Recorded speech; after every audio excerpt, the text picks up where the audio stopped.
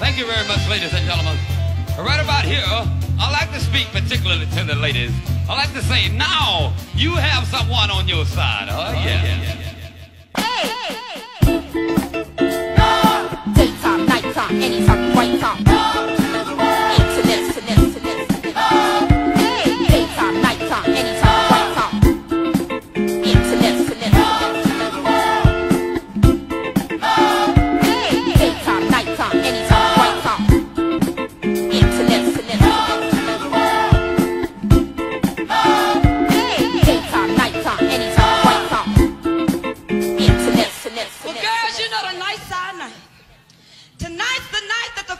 Preacher's here so that all the women in the house can let the fellas know where they stand. stand.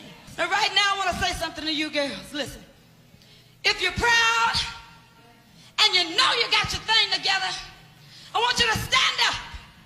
If you got a man that won't do right, stand up. If you work hard